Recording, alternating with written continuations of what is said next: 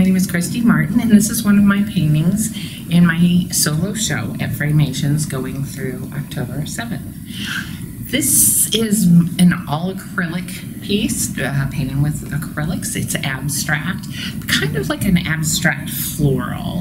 I created this piece in the spring when winter dreariness had just gotten to me too bad. Um, one of the things that I really enjoyed doing was some of the mark making on here and making marks and just hoping to give it a little bit of extra energy to the piece. I hope you'll come out and see the show. Um, it's a great show.